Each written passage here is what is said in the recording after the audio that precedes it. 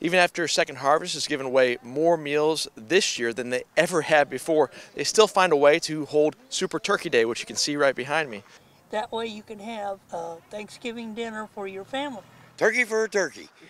Make sure you tune in tonight to News Press Now to hear more about this giving season. Some important St. Joseph history was stolen from the Jesse James home this past Friday. Make sure you tune in to News Press Now tonight to hear what was stolen, how they did it, and how you can help police catch these burglars. Join us.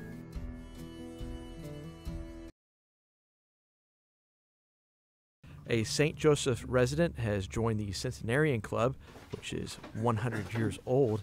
Hear his secrets to life, which might be a little bit sweet for you, tonight on News Press Now. After four days of counting votes, the results are in, and Joe Biden will be the 46th President of the United States. Tonight on News Press Now, we have local reactions to this news, plus, of course, other news in your area. And, of course, Brooklyn Ray will be giving us the local weather we should expect this week. Tune in tonight. Remember the fire that burned down the Pioneer Building? Well, this eight to nine million dollar project could help revitalize downtown St. Joseph with this four story, mixed income family housing project. We'll tell you more about the development plus a partnership with CAP tonight on News Press Now.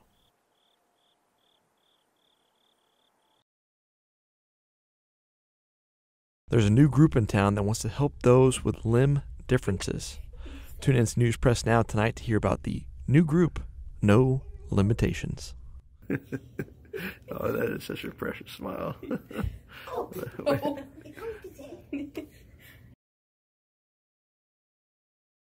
Lost and then found, the old Kessler Cemetery is now having around 40 of its headstones restored. It's located in Easton, Missouri. Tune in to News Press Now tonight to get a first hand look at that restoration.